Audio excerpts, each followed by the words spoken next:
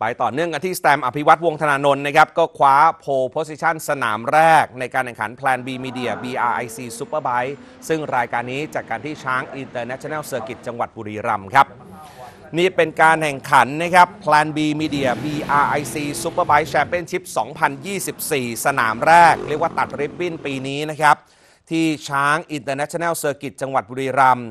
ในรอบ qualify จัดอันดับ ในคลาสสูงสุดของไทยครับตัวพันซึ่งรวมสุดยอดนักแข่งของไทยไว้มากมายนะครับ ปรากฏว่าโพ position ออกสตาร์ท grid ที่1เนี่ยเป็นของสแตมป์อภิวัฒน์วงศ์ธนานนท์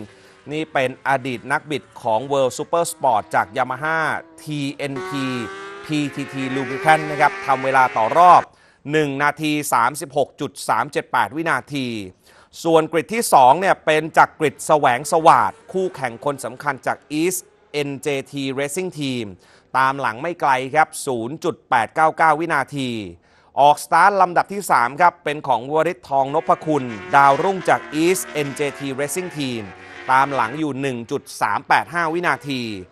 ในขณะที่อดีตแชมป์ประเทศไทยนะครับ อย่างนัซุปอนุชานาคเจริญศรีจาก Yamaha Bridgestone อนุชา Racing Team ออกสตาร์ทจากกริดที่ 4 ตามหลังนะครับ 1.510 วินาทีสำหรับ Plan B Media BRIC Superbike Championship